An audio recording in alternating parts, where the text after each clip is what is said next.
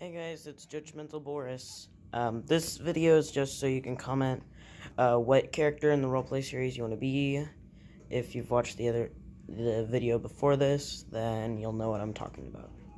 But anyways, just want to hop in, and I realized I made a mistake on putting no comments comments available in the last video, so this is just for that. Alright, that's it. Bye.